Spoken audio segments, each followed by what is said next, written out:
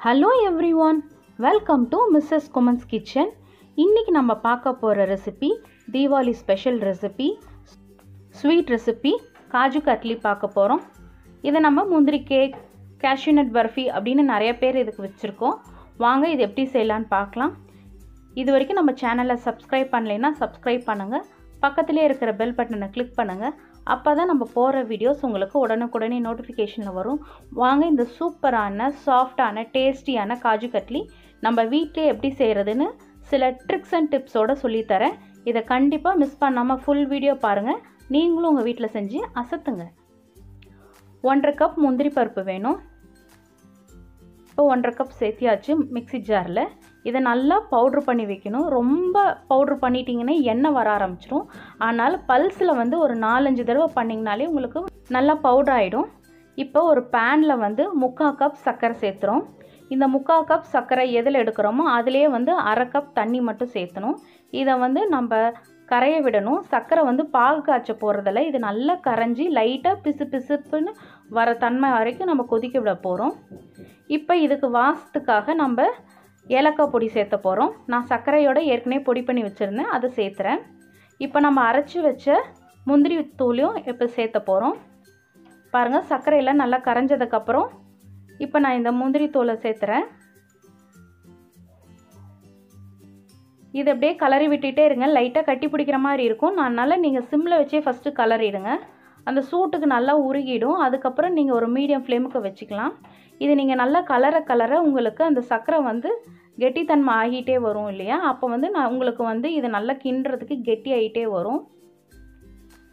பாருங்கள் முந்திரி நல்லா வெந்து நல்லா திரண்டு வர ஆரம்பிச்சிருச்சு.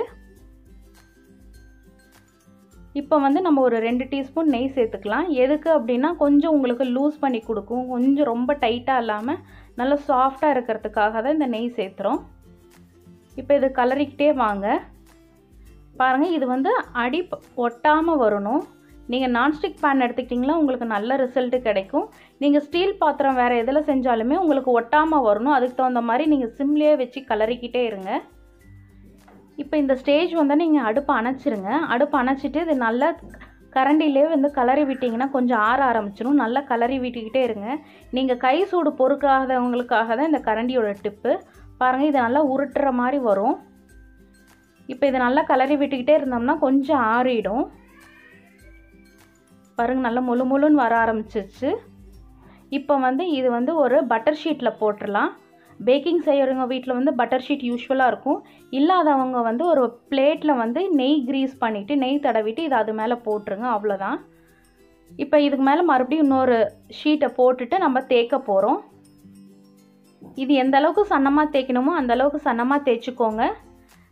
என் கிட்ஸுக்கு வந்து நான் ரொம்ப சன்னமாக இருக்கிற மாதிரி தான் கொடுப்பேன். ரொம்ப கெட்டியாக இருந்ததுன்னா நிறைய ஸ்வீட் சாப்பிட்ற மாதிரி இருக்கும் அவனுங்களுக்கு. அதனால் கொஞ்சம் நல்லா சன்னமாக போட்டுட்டேன்னா ஒரு பீஸ் கொடுத்தோம்னாலே கொஞ்சமாக கொடுத்த மாதிரி தான் இருக்கும். இப்போ வந்து நம்ம கட் பண்ணிக்கலாம் ஷேப்புக்கு இப்போ நான் வந்து எட்ஜஸ்லாம் கிளியர் பண்ணிட்டு வெறும் நடுவில் இருக்கிற போர்ஷன் மட்டும் காட்டுறேன். இது வந்து எல்லா பக்கமும் நம்ம ஸ்கொயர் ஸ்கொயராக ஃபஸ்ட்டு கட் பண்ணிக்கலாம். உங்களுக்கு வேணும் அப்படின்னா நீங்கள் க்ராஸ் பண்ணிக்கலாம். நான் ஃபஸ்ட்டு ஒரு ஸ்கொயர் மாதிரி பண்ணிவிட்டு அதுக்கப்புறமேட்டு க்ராஸ் பண்ணுறேன் இப்போ வந்து நான் சில்வர் ஷீட்ஸ் போட போகிறேன் இது சில்வர் லீவ்ஸ்னு சொல்லுவோம். இது வந்து முழுக்க முழுக்க ஆப்ஷனல் தான். இது ஒரு அலங்காரத்துக்காக தான் இதை வந்து நாங்கள் பண்ணுறோம் நம்ம வீட்டில் வெறும்னாவே இந்த பர்ஃபி மட்டும் செஞ்சு விட்டுறலாம். இப்போ இது ஒவ்வொன்றா நம்ம எடுத்துடலாம். பாருங்கள் எவ்வளோ ஈஸியாக வருது அப்படின்னு. பாருங்கள் எவ்வளோ தின்னாக ஈஸியாக வந்திருக்கு அப்படின்னு. பர்ஃபி ரெடி இப்போது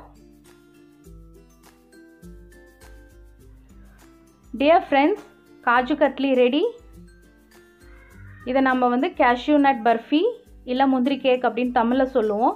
இது ரொம்ப சிம்பிள் வீட்டில் ஈஸியாக செஞ்சிடலாம். யாருனாலும் செஞ்சிடலாம் பிகினர்ஸும் இது ஈஸியாக செஞ்சிடலாம். இந்த ரெசிபி நீங்கள் உங்கள் வீட்டில் செஞ்சு பார்த்துட்டு எனக்கு சொல்லுங்கள் இந்த வீடியோ உங்களுக்கு ரொம்ப பிடிச்சிருக்குன்னு நினைக்கிறேன். இது வரைக்கும் சப்ஸ்கிரைப் பண்ணாதவங்க சப்ஸ்கிரைப் பண்ணுங்கள் பக்கத்துலேயே இருக்கிற பெல் பட்டனை கிளிக் பண்ணுங்கள் பாருங்கள் எவ்வளோ சூப்பராக இருக்குன்னு. இதை வந்து நான் இப்போ எடுத்து காட்டுறேன். எந்த அளவுக்கு தின்னாக இருக்குது அப்படிங்கிறத. பாருங்கள் எவ்வளோ தின்னான்னு நான் தேய்ச்சிருக்கேன். இது ரொம்ப சூப்பராக இருக்கும். டேஸ்ட்டும் ரொம்ப ரொம்ப சூப்பராக இருக்கும். பாருங்கள் இது உடச்சி காத்துட்டேன் அந்த பதம் எவ்வளோ அழகாக வந்திருக்கு அப்படின்னு. நான் உங்களை வேறு ஒரு இன்ட்ரெஸ்டிங்கான ரெசிப்பியில் மீண்டும் சந்திக்கிறேன். Until then bye from Renuka Kumanan. Bye have a great day